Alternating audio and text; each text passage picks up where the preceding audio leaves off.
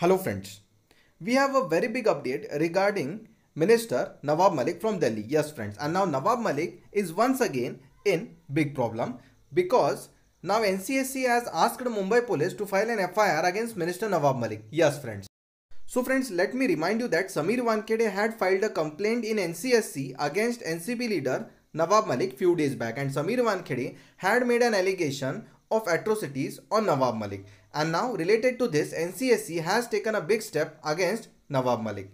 And now NCSC has ordered Mumbai police to file an FIR against NCP leader Nawab Malik. So friends, let me also tell you that this FIR should be filed against Nawab Malik within 7 days.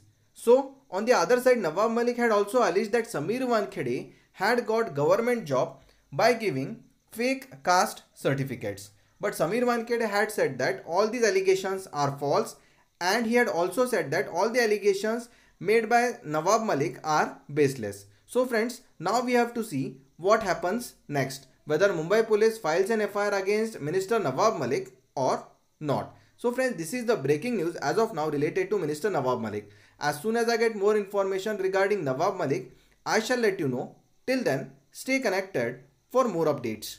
Thank you.